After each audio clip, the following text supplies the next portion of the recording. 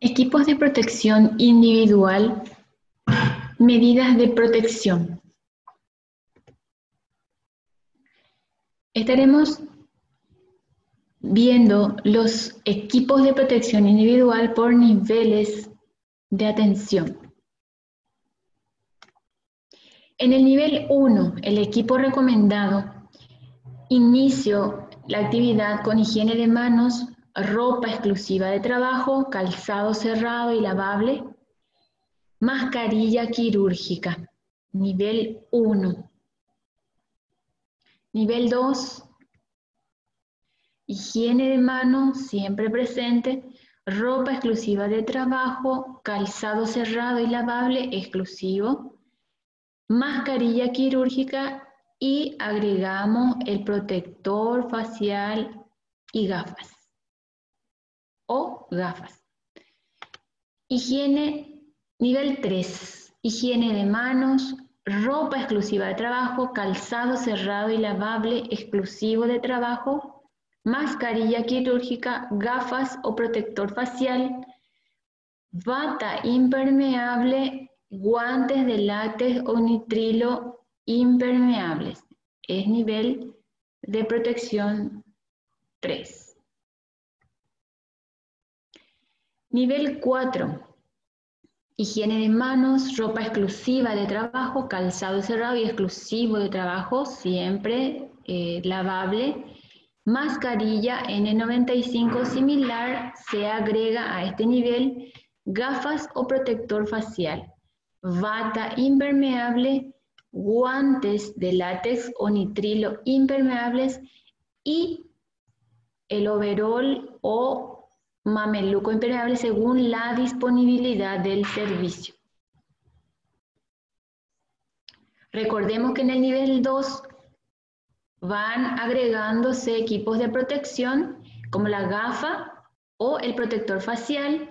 En el nivel 3 la bata impermeable y los guantes de nitrilo impermeables.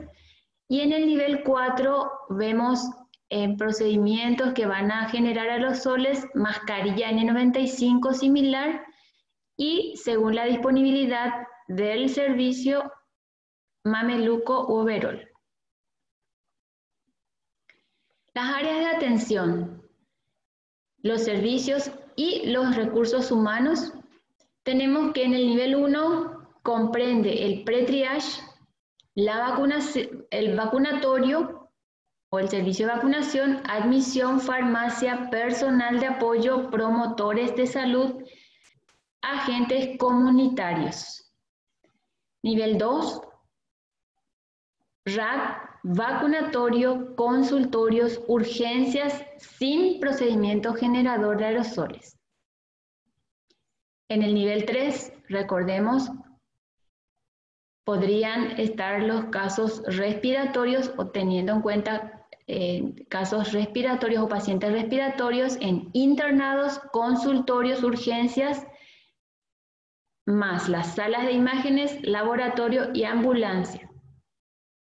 Nivel 4, respiratorios más procedimiento generador de aerosoles en internados, consultorios, urgencias, UCI, laboratorio de muestras respiratorias y ambulancia transportando pacientes intubados. Por áreas de atención, servicios y recursos humanos. En el nivel 1, siempre higiene de manos, ropa de trabajo, calzado cerrado, lavable exclusivo del trabajo y la mascarilla quirúrgica. Por áreas de atención, estas son pretriage, vacunación, admisión, farmacia, personal de apoyo, promotores de salud y agentes comunitarios. Recordar que el nivel de protección, nivel 1, es el uso de ropa y mascarilla quirúrgica. Por áreas de atención, el nivel 2 tenemos higiene de manos, ropa exclusiva de trabajo, calzado cerrado y lavable, mascarilla quirúrgica, gafas o protector facial. En este nivel agregamos el protector facial o las gafas.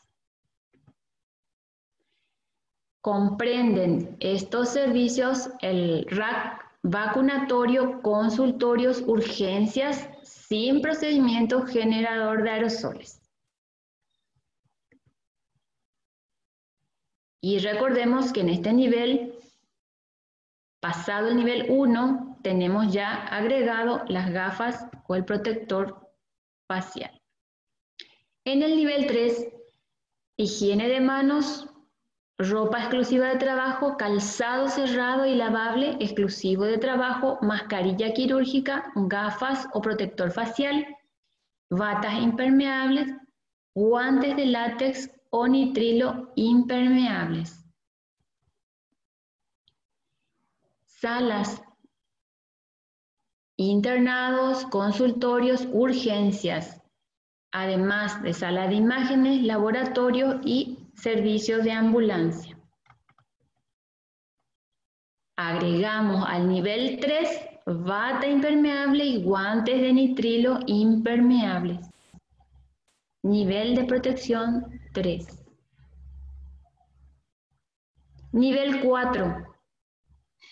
Higiene de manos, ropa exclusiva de trabajo, calzado cerrado y lavable, mascarilla N95 o similar, gafas o protector facial, bata impermeable, guantes de látex o nitrilo impermeables, overol o mameluco impermeable según la disponibilidad del servicio.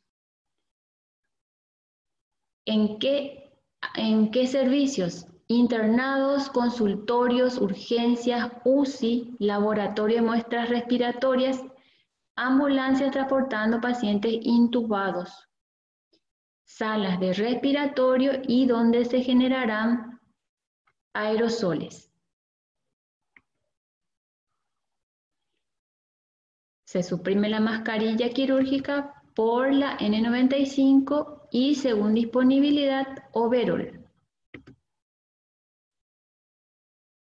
Recordando que el mecanismo de transmisión del virus es por gotitas y por contacto de superficies contaminadas.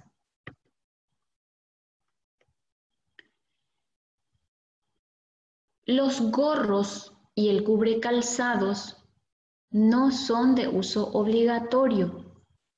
Si se dispone, se puede agregar al equipo de protección individual.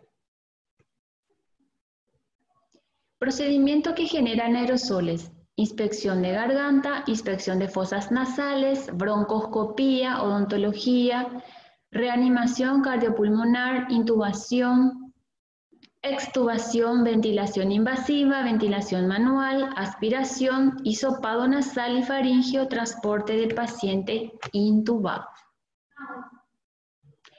Equipo de protección individual para el personal de limpieza. Recordemos que el personal de limpieza estará muy de cerca con la asistencia a los pacientes con patologías respiratorias, debiendo utilizar el equipo de protección de acuerdo al área donde va a desempeñar su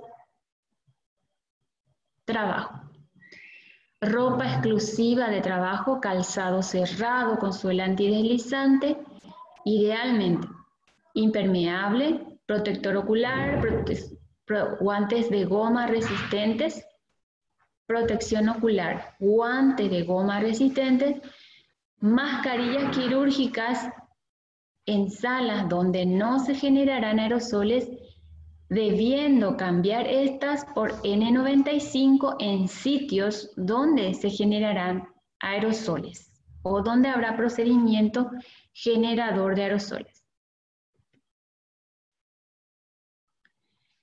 Haremos un ejercicio mental para recordar las áreas y los equipos correspondientes a cada nivel. Urgencias sin PGA. es área con nivel de protección 3. RAC es nivel 2. Internados respiratorios, nivel de protección 3. Agentes comunitarios, nivel 1. UCI, nivel 4. Pretriage, nivel 1.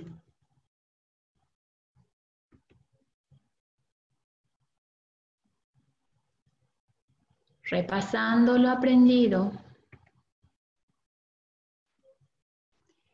tenemos que el EPI por área de trabajo, nivel 1, pretriage, vacunación, admisión, farmacia, promotores de salud, agentes comunitarios, nivel 2 es el RAC vacunatorio, consultorios, urgencias, SIM, procedimiento generador de aerosoles, internados, nivel 3, internados respiratorios, consultorios respiratorios, urgencias respiratorios, sala de imágenes, laboratorio, ambulancia.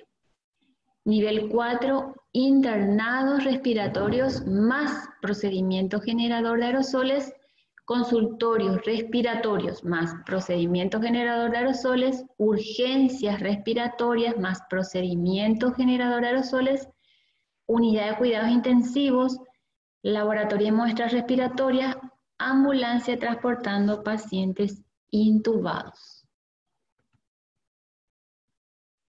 Muchísimas gracias por la atención.